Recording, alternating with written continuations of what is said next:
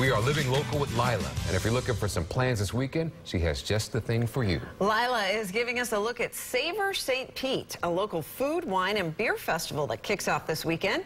She's at Paul's Landing in St. Pete with a sneak peek. You can eat your way through Tampa Bay at a brand new festival called Savor St. Pete come this weekend. Savor St. Pete puts a new twist on a beloved Pinellas County staple event.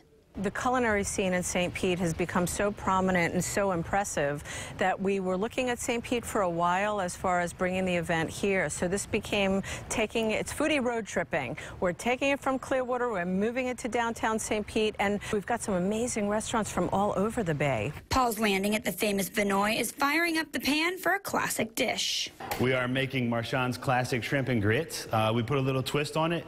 With our grits, we add a little bit of sofrito into it, lightens it up, gives it that Latin flavor.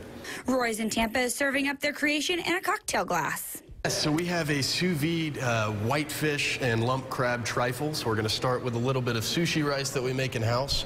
We're going to follow with a little bit of uh, lomi lomi, which is just uh, tomatoes, onions, chives, and a little bit of garlic, uh, avocado and wasabi mousse. Yum. And layer that over here.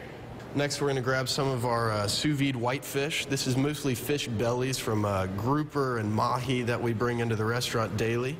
And then we're going to finish with a little bit of uh, microgreens just for a nice bit of pop. Publix is joining the party with some homegrown meat. And we're making a Korean barbecue beef slider with an Asian slaw. You can take a bite out of all of these delicious dishes at Savor St. Pete this weekend right here in downtown St. Petersburg. In St. Pete, I'm Lila Gross, 8 on your side.